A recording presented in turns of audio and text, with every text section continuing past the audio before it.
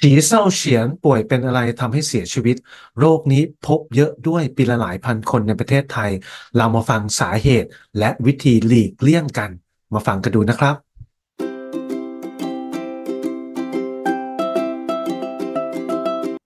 สวัสดีครับทุกท่านเพจหมอเฉพาะทางบาดเดียวและ YouTube Channel หมอเฉพาะทางบาดเดียวนะครับกับผมหมอเกมในแพทย์อดุลชัยธรรมแสงเสริญนะครับ ก็เป็นศัลยแพทย์แล้วก็ศัลยแพทย์ตกแต่งนะครับ มาวันนี้ก็คือเป็นเรื่องคนดังกับโรคนะ คนดังกับโรคในวันนี้ก็คือคุณฉีเศร้าเฉียนนะ หรือหลายท่านจะรู้จักคุณหุนปัวเอียกนะ ในกระบี่ไร้เทียมทานนะ ก็เสียชีวิตในวัย 73 ปีก็อายุยังไม่มากนะ ต้องต้องถือว่าการแพทย์สมัยนี้ต้องบอกว่าเอ้ยอายุ 73 ปีนี่ เสียชีวิตแล้วหรอนะเรามาดูกันสาเหตุการเสียชีวิตเป็นอย่างไรนะครับนะโดยลูกสาวเนี่ยออกมาให้ข่าวว่าคุณสีเช่าเสียนเนี่ยเสียชีวิตจากเรื่องมะเร็งหลอดอาหารโอ้แล้วก็เกิดข่าวร้ายพร้อม ๆ กันก็คือว่าระหว่างจัดงานศพเนี่ย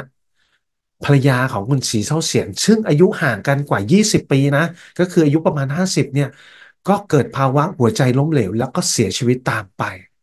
เป็นเรื่องที่น่าเศร้ามากนะครับสำหรับครอบครัวนี้นะ เรามาดูเกี่ยวกับเรื่องของมะเร็งหลอดอาหารที่คุณสีเช่าเสียนเนี่ยไปรักษาที่ปักกิ่งกันก่อน จริงๆเนี่ยมี FC หลายท่านมาปรึกษาหมอนะ เกี่ยวกับการไปรักษามะเร็งที่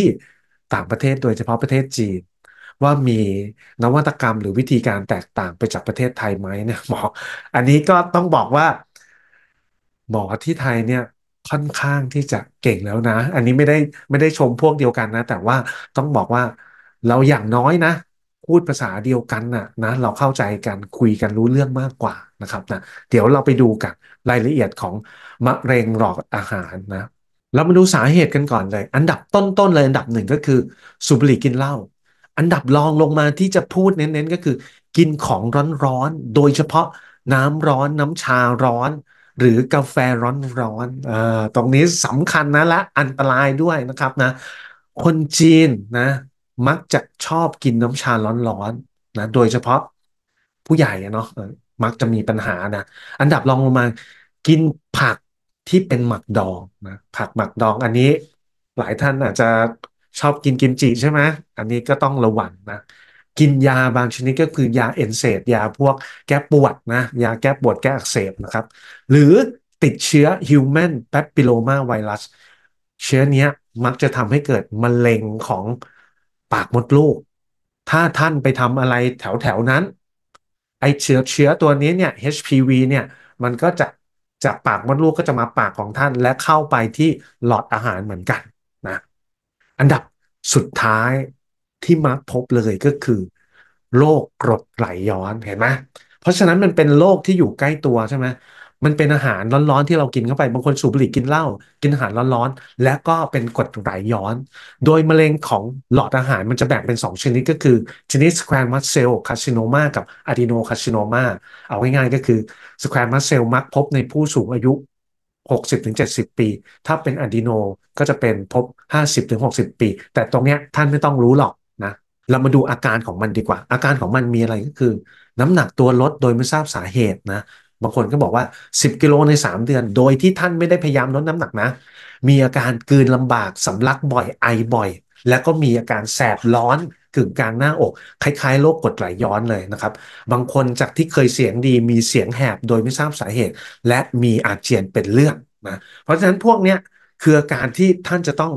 คอยดูว่า มันมีความผิดปกติหรือเปล่า เสียงแหบ ไอเลื้อรังนะ เป็นกรดไหลย้อนนะ แล้วก็ขย้อนอยู่บ่อยๆ หรือเลออยู่บ่อยๆ อันนี้อันตราย นี่ เขาบอกว่าการกินชาร้อนๆ เกี่ยวข้องกับมะเร็งหลอดอาหารเนี่ยอย่างชัดเจน โดยเพิ่มอัตราการเกิดมะเร็งของหลอดอาหารเกือบ 90%นะเกือบ 90%นะ โดยเฉพาะที่เป็นพวกชาน้ำหวานกาแฟ ที่ทำให้มันร้อนขึ้นนะ โดยเขาบอกว่าอันนี้สำคัญเลย โดยเขาบอกว่าอาหารที่เราทานเข้าไปหรือน้ำที่เราทานเข้าไปเนี่ย ไม่ควรร้อนเกินกว่า 150 องศาฟาเรนไฮต์หรือ 65 องศาเซลเซียสดังนั้นเนี่ยก่อนรับประทานอาหารนะ ถ้ามีเทอร์โมมิเตอร์ก็วัดก่อน รอให้มันเย็นก่อนก็ได้นะ เพราะฉะนั้นถ้าทานอะไรร้อนเกินไปเนี่ย มันไปลวกข้างในหมดเลย และทำให้เกิด มะเร็งของหลอดอาหารได้ ดังนั้นนะ 65 องศาเซลเซียสห้ามเกินนี้นะครับนะนี่มะเร็งหลอดอาหารมันเกิดได้หลาย ๆตำแหน่ง ท่านคิดดูหลอดอาหารนะเอาง่ายๆ หลอดอาหารมันจะอยู่ทางด้านหลังนะอยู่หลังหลอดลมก็แล้วกัน อยู่หลังหลอดลม ถ้าสมมติว่าเกิดมะเร็งส่วนใดส่วนหนึ่งตรงบริเวณนั้นเนี่ยตั้งแต่ใต้หลอดลมลงมานะ และลงไปถึงกระเพาะมันผ่าตัดยาก เอาง่ายๆนะ ที่หมอมีสีฟ้ากับสีชมพูใช่ปะ ถ้าเป็นมะเร็งหลอดอาหารเนี่ย ตรงบริเวณสีฟ้าเนี่ยก็คือด้านบนขึ้นไปเนี่ยทำผ่าตัดค่อนข้างยากนะ ถ้าเป็นในส่วนด้านล่างหน่อยเนี่ย จะทำผ่าตัดง่าย ๆ แต่เขาก็พูดสาเหตุเหมือนกันนะ ไอ้มะเร็งส่วนด้านบนเนี่ย มันมักจะเกิดจากการกินของร้อนๆนั่นแหละนะหรือไม่ก็ติดเชื้อ Human Papilloma Virus หรือเชื้อที่ทำให้เกิดมะเร็งปากมดลูกนะแต่ถ้าพูดว่าเป็นมะเร็งที่เกิดจากกรดไหลย้อนนะ เป็นมะเร็งหลอดอาหารที่เกิดจากกรดไหลย้อน มันจะเป็นส่วนล่างๆ ซึ่งผ่าตัดง่ายกว่า แต่ทั้งนี้ทั้งนั้นก็คือหลักการรักษาของมะเร็งหลอดอาหารก็คือ ตัดหลอดอาหารเกือบทั้งหมดนะ จริงๆต้องบอกว่าเกือบทั้งหมดก็ไม่ได้ เอาง่าย ๆ ก็คือว่าถ้าเรามีมะเร็งอยู่ก้อนหนึ่งไม่ว่ามันจะอยู่ตำแหน่งไหนก็ตาม โดยปกติ หมอเขาจะวัดประมาณสักห้าเซนห่างจากขอบของมันนะ ไปในทุกทิศทางนะ แล้วตัดออก แต่แน่นอนว่ามันอยู่ในซวงอกใช่ไหม เขาจะไปตัดในส่วนของปอดออกเนี่ยมันก็ไม่ได้นึกออกปะเขาก็ตัดเฉพาะส่วนเหนือขึ้นไป5เซนกับลงมา5เซนเอาพอปลอดภัยนะครับ หลังจากนั้นเขาก็จะเอาส่วนที่เป็นกระเพาะนะโยกขึ้นไปต่อกับในส่วนของบริเวณที่เราตัดนะแต่การผ่าตัดอย่างที่บอกว่ายากเย็นแสนเข็ญท่านเห็นภาพด้านหลังหมอใช่ไหมมันจะมีแผลที่ตรงคอ แผลที่ตรงทรวงอกและแผลที่ท้อง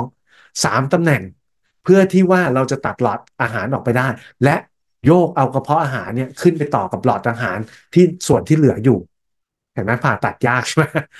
เพราะฉะนั้นเมื่อผ่าตัดยากการมะการกระจายของมะเร็งก็เป็นไปอย่างค่อนข้างง่ายด้วย ก็คืออย่างที่บอกว่า ด้วยความที่ว่ามันอยู่ในหลอดอาหารใช่ไหมมันจะไปปอดไปอะไรเนี่ย มันค่อนข้างง่าย เราไม่สามารถตามไปตัดได้หมด ปกติพอเราทำการผ่าตัดเสร็จแล้วเนี่ย เราก็มักจะให้เคมนะ แล้วก็ทำการฉายแสง เขาบอกว่าในอเมริกาเนี่ยนะมะเร็งหลอดอาหารเนี่ยถือว่าเป็นมะเร็งอันดับ7ที่ฆ่าชีวิตของชาวอเมริกันนะครับนะ โดยอัตราการรอดชีวิตนะไฟเยียร์ survival ก็คือ 5 ปีเนี่ยเขาบอกว่าในทุกๆระยะไม่ว่าจะพบระยะไหนเนี่ย อัตราการรอดชีวิตเกิน 5 ปีเนี่ยมีประมาณ 20%อีก 80 ก็คือเรียบร้อยไปนะ ถ้าพบระยะแรก ๆ อัตราการรอดชีวิตก็คือ 50-50 เขาให้แค่ 47%เอง ถ้าพบระยะที่กระจายไปแล้วอัตราการรอดชีวิตเหลือแค่ 5%เองภายใน 5 ปีนะ ในเมืองไทยพบได้แค่ไหนนะ ในเมืองไทยเขาบอกว่าผู้ป่วยส่วนใหญ่จะพบในช่วงอายุ 55 ถึง 65 ปี เป็นผู้ชายมากกว่าผู้หญิงนะครับมะเร็งหลอดอาหารพบได้ปีละ 3,400 คน และเสียชีวิตปีละ 3,200 คนข้อมูลเนี่ยจาก Rama Channel นะ พบปีละ3,400เสียชีวิตปีละ3,200จะเหลือแค่ 200 คนต่อปี ก็เหลือประมาณสักแค่น้อยกว่า 5%อีกนะ ดังนั้นอย่างที่บอกว่าระมัดระวังในการกินของร้อนๆ ใครเป็นกรดไหลย้อนต้องรักษาให้หาย สาระความรู้ดีๆ จากเพจหมอเฉพาะทางบาดเดียวและ YouTube Channel หมอเฉพาะทางบาดเดียวนะครับ ขอบคุณครับ สวัสดีครับ